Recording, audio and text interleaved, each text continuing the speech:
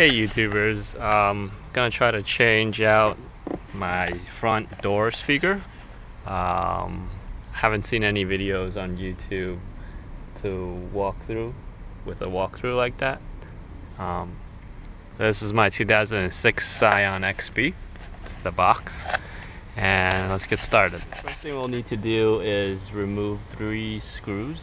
one here by the uh, door um, one in here and a little plastic one here. Okay, now that these two screws and this plastic uh, clip is out, we're just gonna slowly remove the door panel. It's held in by plastic clips. So we want to start from the bottom, from here, and gently pull.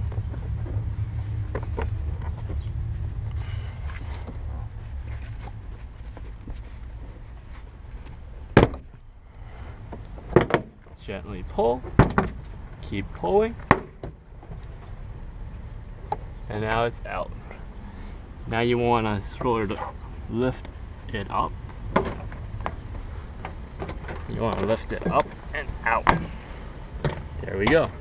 I could not for the life of me figure out how to remove the this uh, window control unit this clip and it was really difficult to work with the door panel on so I removed the three screws and removed the whole thing altogether. Maybe we can now figure out how to unclip this wiring wiring harness. Okay I figured it out with the door panel off. You have to really push this piece in so this little uh, plastic knob can clear this hole and then start pulling out um, guess it's okay. I'll just reinstall this a bit later. Fun part, we have to use a 1 8 drill bit to drill out these rivets. some reason Toyota decided to put rivets instead of screws. So probably a faster installation. But uh, let's get drilling.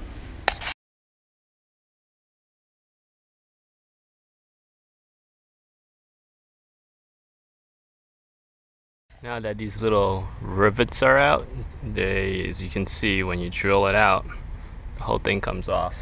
We have to put new screws in. So I got these quarter inch uh, nuts and bolts from Home Depot. Realize it's a little bit big, but uh, just gonna make the hole a little bigger because I already have, I bought nuts as well on the back side. Now that the holes are slightly bigger and this uh, nut and bolt can easily pass through, uh, you'll need a um, speaker harness or a speaker um, mount they call it. These are, I got these on Amazon, there's like $10. I'll have the link in the description.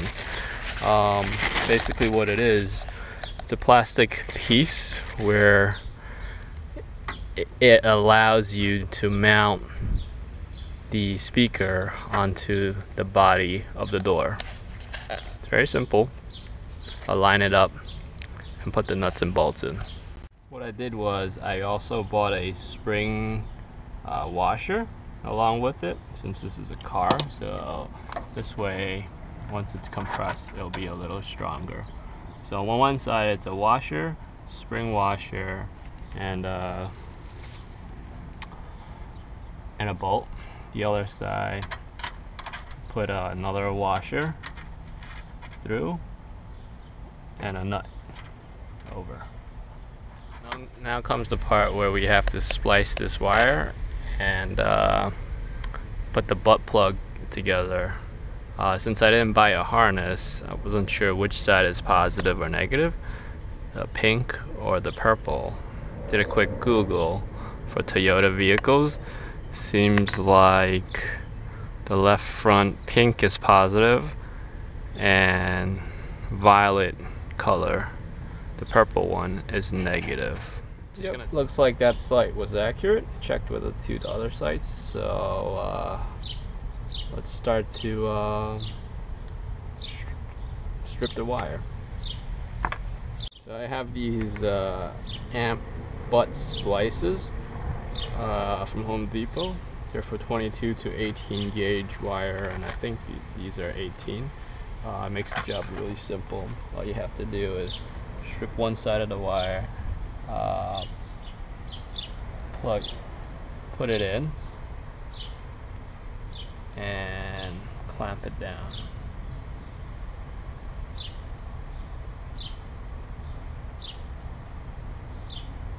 And that's it. Now that we have the wires hooked up, we want to give the speaker a quick test, to make sure everything's okay.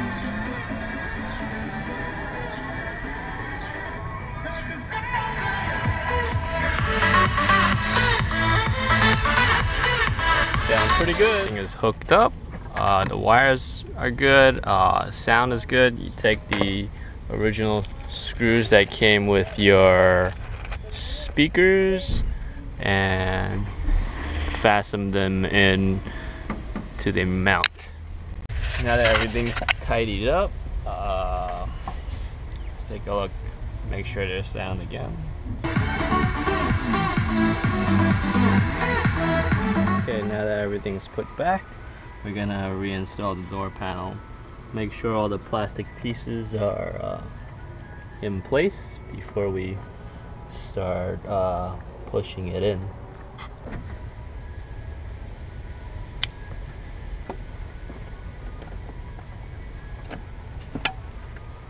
Okay, now it's stuck.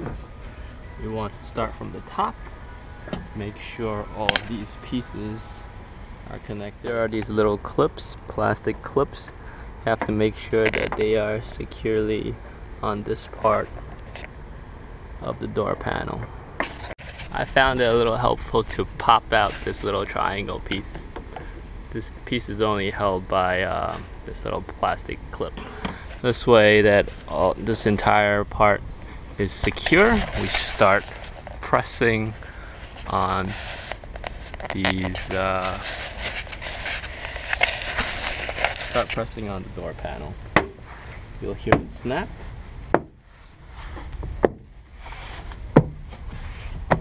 Just press firmly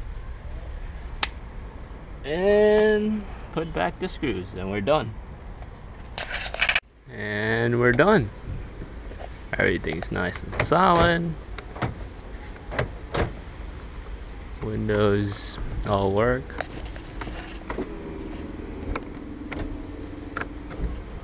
Oh, hope this was helpful.